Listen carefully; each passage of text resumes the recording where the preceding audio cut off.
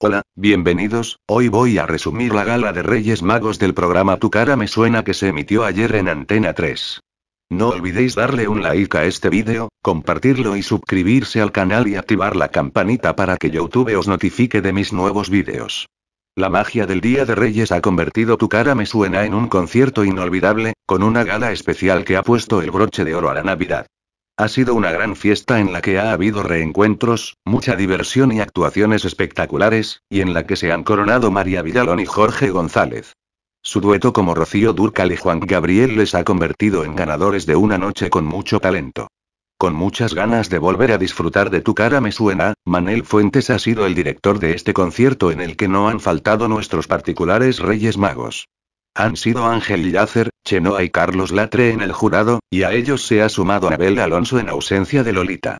No ha sido la única sorpresa, porque les ha llegado José Corbacho como regalo inesperado.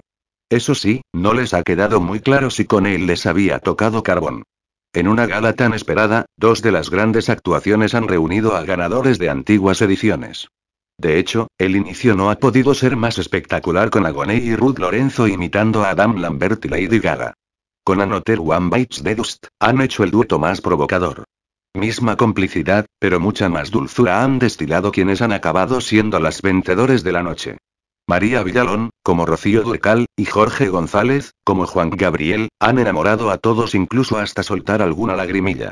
Acompañados de María Chis, nos han dicho que fue un placer conocerte y aunque el auténtico placer ha sido escucharlos. Tampoco podían faltar en esta fiesta algunos de los temazos que llenaron las pistas durante el pasado año. Gemeliers se han transformado en Quevedo y Bizarrat para cantar Quédate, mientras que Ana Morgade y Eva Soriano han luchado contra zombies como Belinda y Ana Mena en las decimosegundo. También ha regresado a tu cara me suena Nerea Rodríguez, acompañando a un debutante como Miguel Lago para poner glamour a la gala como Dolly Parton y Kenny Rogers. Por su parte, Roy Méndez ha protagonizado el original y copia de la noche junto a Dani Fernández. Se han metido al público en el bolsillo.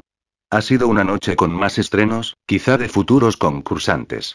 Pepa Rusa ha demostrado mucho arte como Rafaela Carrá, mientras que Nicolás Coronado ha hecho un homenaje familiar a Miguel Bosé, su tío, con la mejor actuación de la noche según el público. Ha conseguido su 12. Fuera de concurso esta noche, han regresado una de las mejores voces que han pasado por el programa y una cantante que fue parte del jurado.